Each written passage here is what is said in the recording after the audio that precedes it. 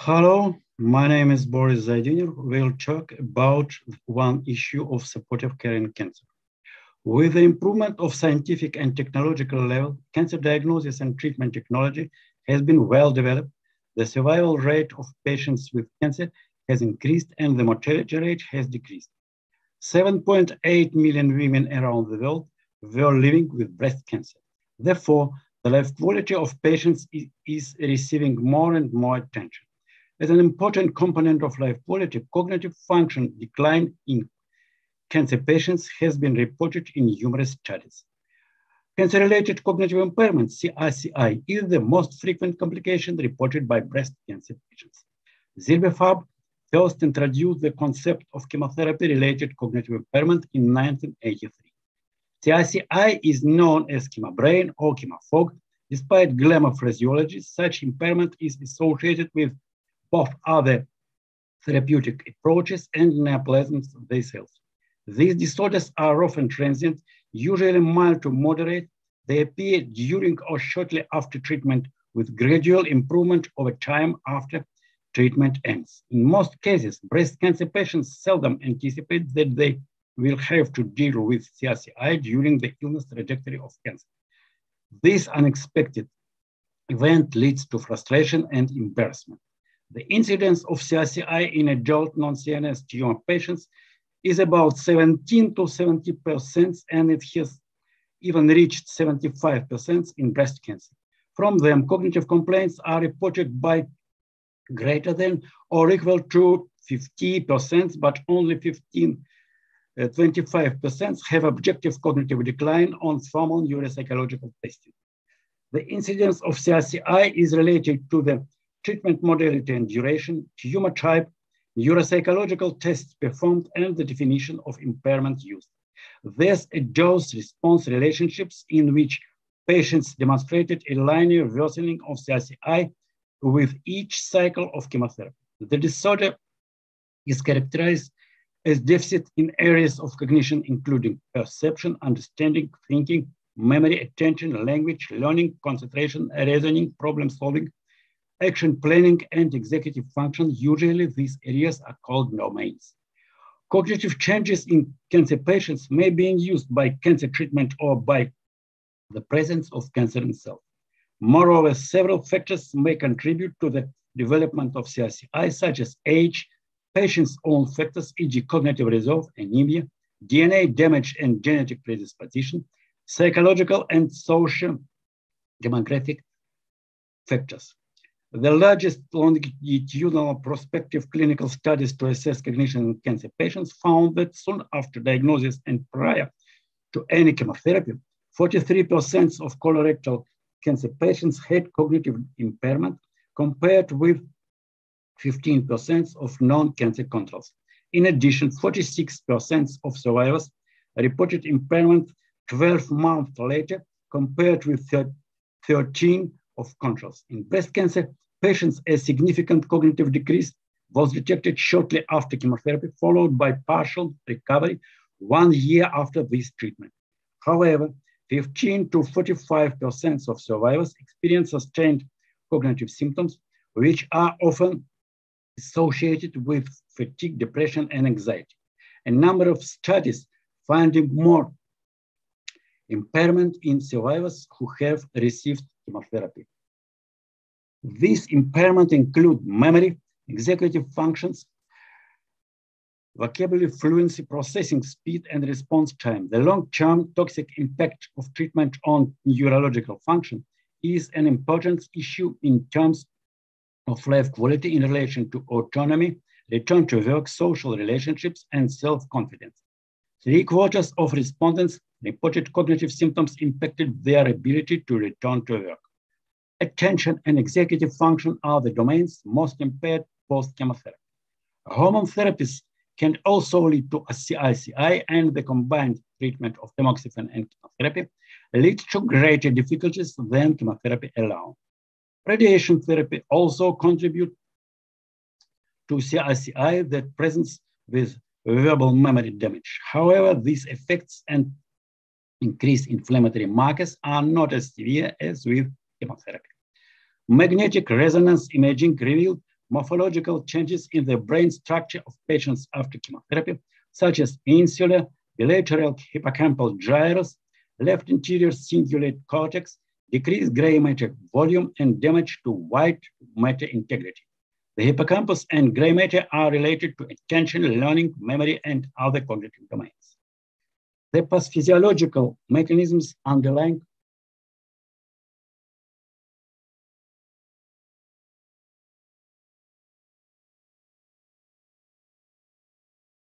It has been shown that cytostatic agents from different classes, e.g. antimetabolites, DNA crossing linking agents, and alkylating agents administered peripherally and in clinically relevant dosages directly impact the nervous system. Chemotherapy regimens disrupt various biological processes and suppress cell division in an absolute manner. Thus, adult neural stem cell proliferation and neurogenesis can be affected together with malignant cells. Specifically, many cytostatic agents appear to be preferentially toxic to neural progenitor cells, the direct, direct ancestors of all differentiated cell types in the CNS and post-mitotic oligodendrocytes, the myelin forming cells. This damage is correlated with reduced adult hippocampal neurogenesis, AHN, in the adult brain, neurogenesis is involved in memory formation. It occurs within the hippocampus. That's one of the only brain regions of continued neural stem cell proliferation throughout the lifespan. This region is also critical for memory consolidation and function, spatial processing, attention, learning, and optimal cognitive state as a whole. Herewith, the hippocampus is specifically damaged by not only chemotherapeutics, but also inflammatory cytokines. Cyclophosphamide also inhibits DNA synthesis and increases oxidative stress, destroying the mitochondria.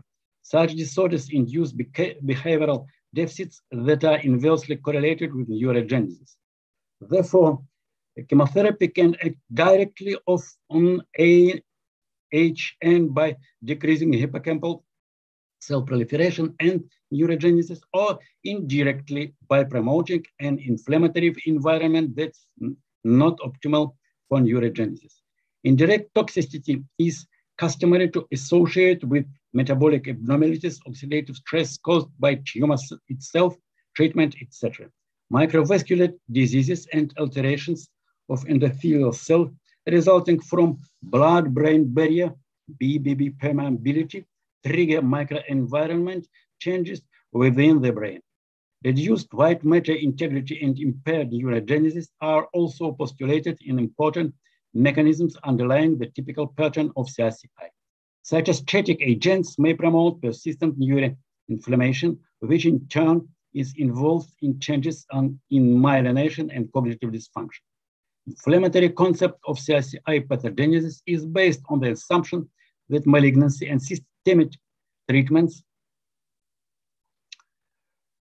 such as chemotherapy induce inflammation in the body, with, which is then propagated to the brain via well-characterized pathways of immune to brain signaling. Chemotherapy drugs the tumor itself and the patient's long-term physiological and psychological stress can lead to increased production of inflammatory cytokines, such as tumor necrosis factor alpha, TNF-alpha, interleukin-1, IL-1, and interleukin-6, IL-6.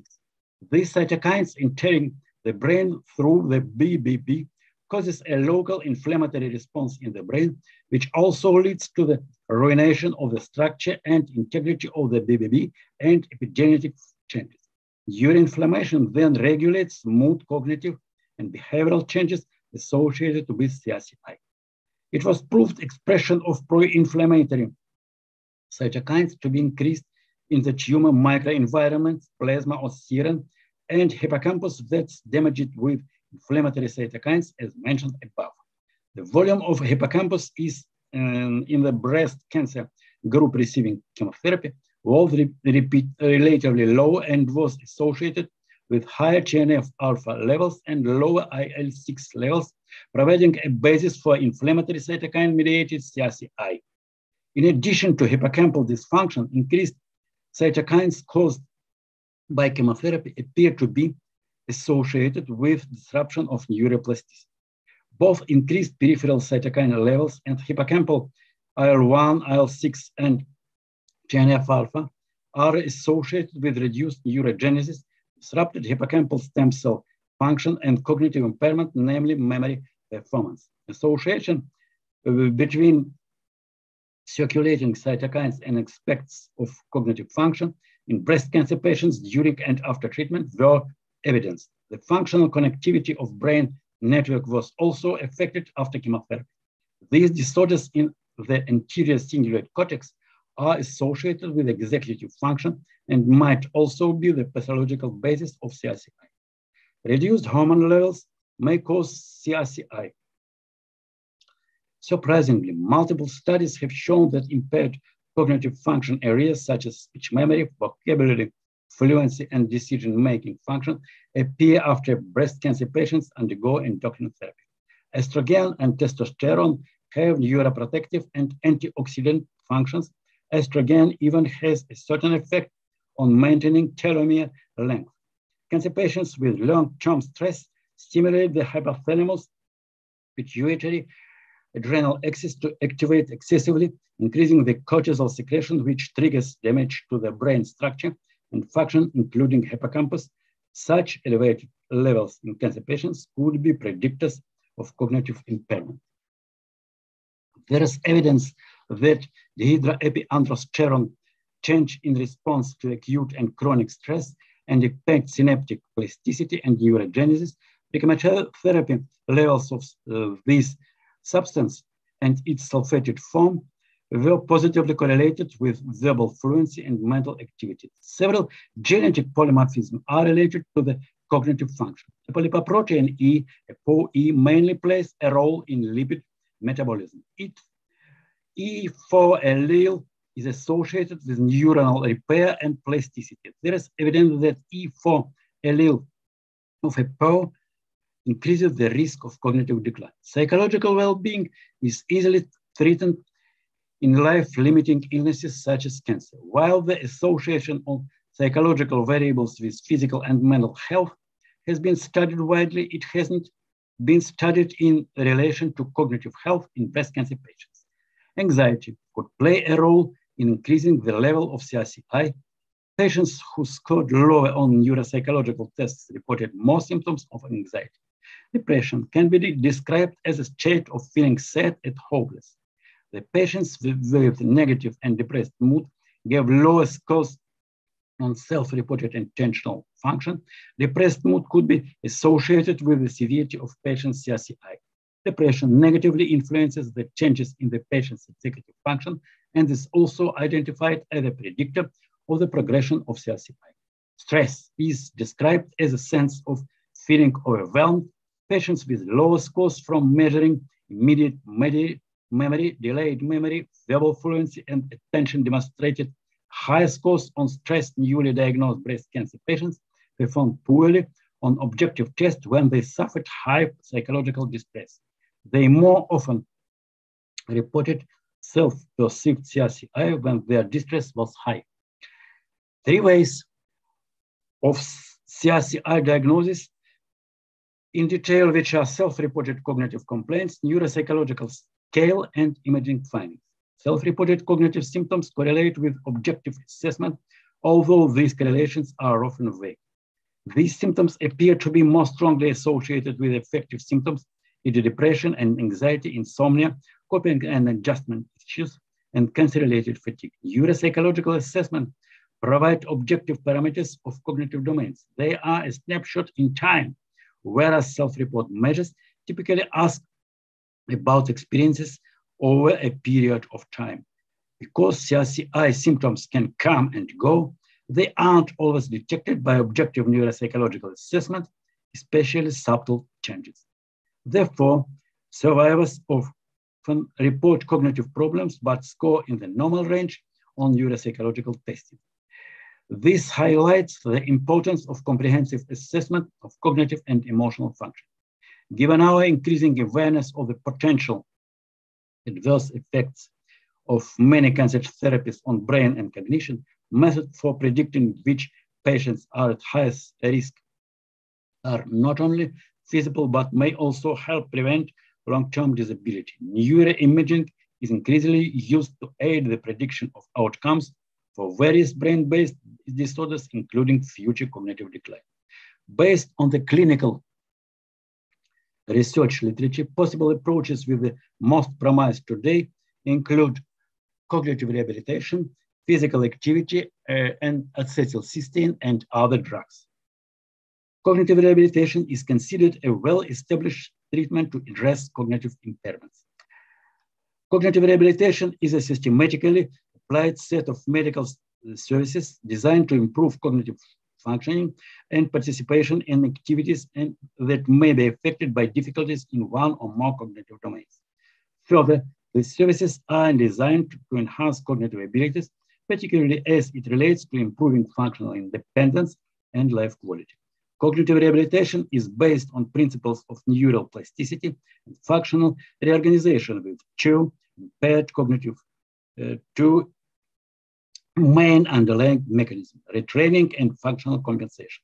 Retraining strengthens impaired cognitive skills through repeatedly practicing cognitive tasks, whereas functional compensation focuses on honing strategies to modify the environment and or one's approach to achieve a goal. Imaging studies also suggest that survivors employ compensatory activation of additional brain regions to maintain performance of neuropsychological tests. These two interventional approaches are often combined with compensation being particularly appropriate for treating persistent cognitive impairments. Cognitive rehabilitation typically is informed by a neuropsychological assessment and implemented in three phases, acquisition, education about cognitive vulnerabilities and strength, and beginning to learn possible compensatory strategies.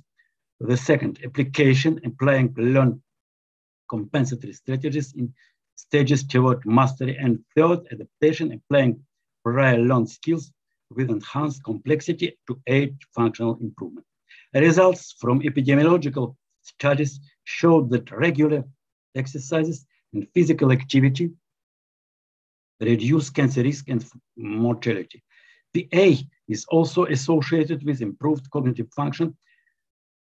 In healthy adults, executive functions show the largest and most consistent exercise-related increases, while improvements in memory and other cognitive skills have been less reliable thus far. PA increases neurogenesis and the levels of neurotransmitters and neurotrophins that promote cognitive function, it reduces inflammation, stimulates positive brain vasculatory changes. Reduction of psychological and chronic medical conditions, e.g. fatigue, depression, sleep disruption, diabetes, obesity, lymphedema, and incontinence associated with PA also indirectly improve cognitive function and lead to increased life quality. PA is also believed to moderate the signaling pathways involved in neuroprotection, such as increasing the expression of neuroprotective genes. In addition to all benefits named about and independently of cancer, PA and exercise are known to have positive effects on structural adaptations of the CNS. Acute aerobic exercise leads to increased expression of neurotrophic and neuroprotective factors such as brain-derived neurotrophic factor, the vascular endothelial growth factor. These growth factors mainly contribute to a process called neurogenesis in specific brain regions, especially in the hippocampus, as highly evolutionary conserved structure. Interestingly, the hippocampus is degenerated by the cause of neurodegenerative disorders. Indeed, many studies reveal that exercise-induced neurogenesis is accompanied by the, an increased hippocampus volume as well as enhanced functioning of hippocampus-dependent cognitive abilities. Positive effects of exercise are not limited to hippocampus-dependent cognitive abilities. For example, improved performance of higher prefrontal located cognitive skills such as executive functions, attention, response inhibition, cognitive flexibility, planning, etc., is frequently reported after exercise. Repetitive transcranial magnetic stimulation, TMS, uses magnetic fields to modulate neuronal excitability. During this procedure, a TMS coil is suspended over a specific area of the head to deliver short electromagnetic pulses. The technique is currently improved for the treatment of depression, but it's also being investigated as a means of improving cognitive performance. Positive effects on memory and attention impairments have been documented in other populations. Mercaptoethane sulfonate and acetylcysteine or melatonin can prevent oxidative stress associated with chemotherapy and may also be a direction for CICI prevention. Melatonin is physiological sleep regulator secreted mainly by the pineal gland. Randomized, double-blinded, placebo-controlled trial demonstrated the neuroprotective effect of melatonin on the neuroplasticity process.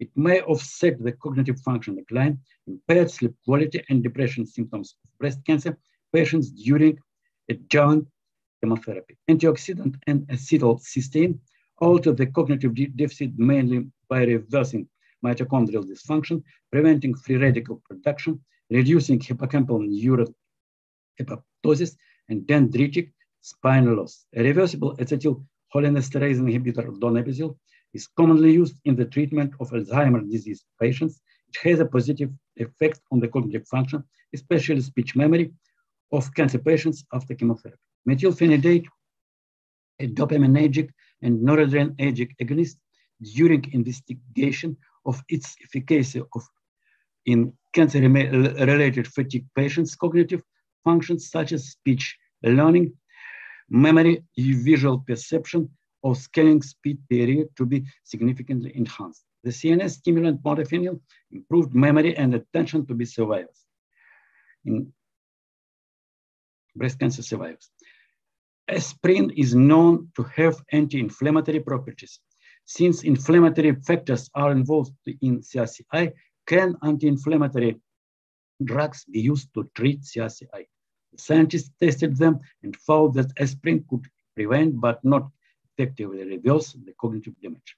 A diet rich in long chain omega-3 fatty acids and low sugar content could protect neurons from the toxic effects of chemotherapy through preventing or reducing urine inflammation and oxidative stress.